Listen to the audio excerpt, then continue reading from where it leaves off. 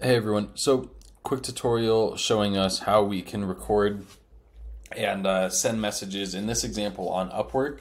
So what I do is this is like a client talking to freelancer. Um, obviously you can replicate the same type of thing, but what we're gonna do here is we are going to, um, I have some URL already. Obviously this could be coming from like a webhook or a Google Sheet, and what we're gonna do is we're gonna load this profile click message, um, and then message that user.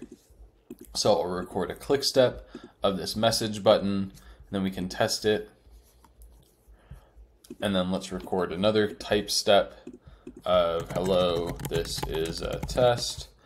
And then we could record some more things. Um, let's see what type of drop down this would be. So this looks like it'll be two different clicks, I assume. So we can record a click step here, oh, there, and then let's test it. Cool. And then let's record another click step right here, confirm. And we can play both of those if we wanted to test it, and then we can record the um, send step. In this case, I'm going to record the cancel button. We can move the bar to the top so that it's not in the way and this is going to complete the automation. Obviously, we could click send if we wanted to actually send the message, um, but because I'm just kind of showing an example here, let's just click cancel. So we could replace the first step with a variable uh, instead of it being this same freelancer's profile every time.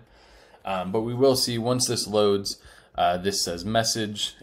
It'll show the message window. We can type whatever we want and then cancel that message.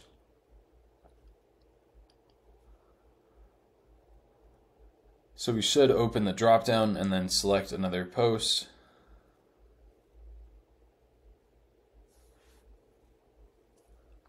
And that is that.